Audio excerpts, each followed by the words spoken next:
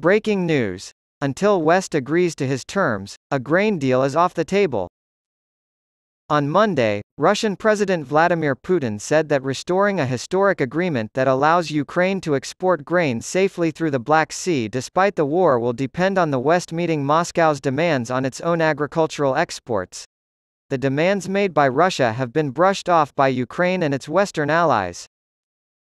Nonetheless, Putin's comments dashed hopes that his talks with Turkish President Recep Tayyip Erdogan could resurrect an agreement seen as crucial for global food supplies, particularly in Africa, the Middle East, and Asia.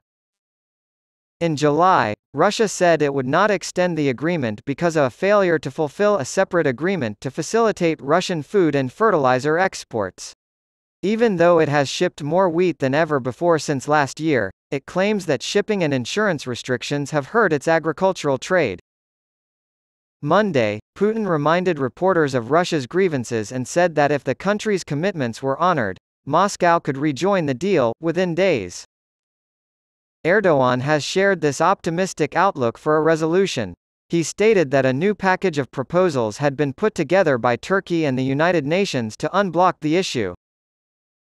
We believe that we will reach a solution that will meet the expectations in a short time, Erdogan said at a news conference with Putin in the Russian resort of Sochi. Annalena Baerbock, Germany's foreign minister, had earlier criticized Putin for his game with the grain agreement, calling it cynical.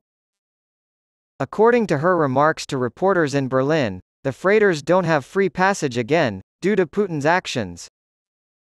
The negotiation has a lot of weight behind it. Developing countries rely on Ukraine and Russia as major suppliers of wheat, barley, sunflower oil, and other goods.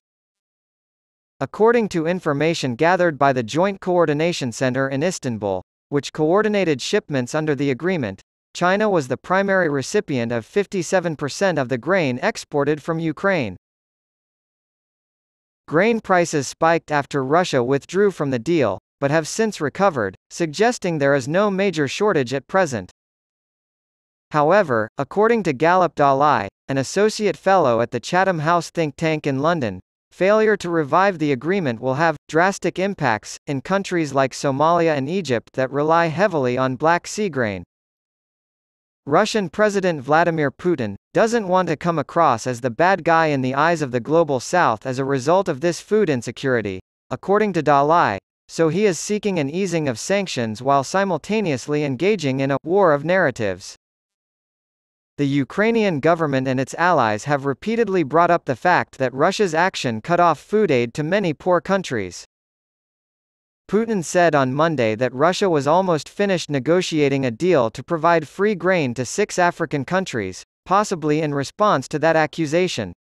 To the countries of Burkina Faso, Zimbabwe, Mali, Somalia, Eritrea, and the Central African Republic, he had previously promised shipments last month. The Russian leader also mentioned that his country would be sending 1.1 million tons of cheap grain to Turkey, which would then be distributed to developing nations.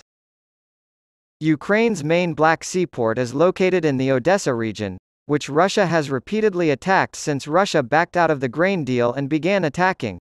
The Kremlin's forces opened fire on the Sochi area again, for the second time in as many days, just hours before the upcoming meeting. The Ukrainian Air Force reported that 23 of 32 drones aimed at the cities of Odessa and Dnipropetrovsk were successfully intercepted. The report did not detail the harm that was done by the survivors. Perhaps Russia thinks it can use its control over Ukraine's Black Sea exports as leverage to get the West to ease economic sanctions. Western allies have assured food and fertilizer are exempt from the sanctions, but this hasn't stopped some businesses from being wary of doing business with Russia. Moscow is still not happy. Ukrainian Foreign Minister Dmytro Kuleba pleaded with Moscow to rejoin the agreement on Monday, saying, there were no legal and political grounds for Russia to withdraw from the agreement. The talks on Monday came after Ukraine launched a counteroffensive against Russian invasion forces. President Volodymyr Zelensky of Ukraine announced Sunday that Defense Minister Alexei Reznikov would be replaced this week. Zelensky remarked, new approaches, but did not elaborate. On Monday, Reznikov shared an image of his resignation letter with the world. After a failed coup against Erdogan in 2016, Putin was the first major leader to offer his support, and the two are said to have developed a close relationship. Both Putin and Erdogan are authoritarian leaders who have been in power for more than two decades. Throughout Ukraine's 18-month conflict, Turkey's president has kept those in place. Turkey has emerged as a major trading partner and logistical hub for Russia's overseas trade because it has not joined Western sanctions against Russia following its invasion. However, NATO member Turkey has also shown its support for Ukraine by sending arms, meeting with Zelensky, and encouraging Kyiv to join the Western alliance. In the meantime, Russia has taken measures to fortify its armed affairs ties with North Korea. On Monday, Russian Defense Minister Sergei Shoigu, who visited Pyongyang in July, hinted at the possibility of joint military drills between Russia and North Korea. Adrienne Watson, a spokesperson for the United States National Security Council, said that during his trip Shoigu tried to convince North Korea to sell Russia some artillery ammunition.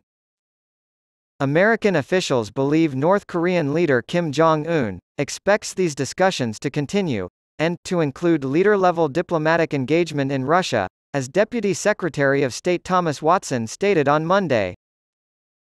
The United States anticipates that Kim will travel to Russia within the month, according to another U.S. official who was not authorized to address the matter publicly and spoke on condition of anonymity. The official said the United States does not know the specific date or location of the meeting, but that the Pacific port city of Vladivostok is a possibility due to its proximity to North Korea. After Shoigu's visit, the White House reported last week that it had intelligence suggesting Putin and Kim exchanged letters. The letters were more at the surface level, National Security Council spokesman John Kirby said, but negotiations between Russia and North Korea regarding a weapons sale were progressing.